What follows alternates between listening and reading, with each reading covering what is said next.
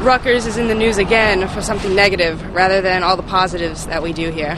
So it's upsetting to see that again. You know, we're in the news for something negative. I think it was absolute right decision to fire Coach Rice because what he do, what he was doing wasn't coaching; it was more abusing. And if you're going to be a coach that wants to inspire players and lead them to victory, abusing them isn't the way to do it. I actually do think it is uh, kind of embarrassing. The fact that like many of us are like just finding out about this now. This has been going on since 2010. I mean, like why are we just hearing about it now?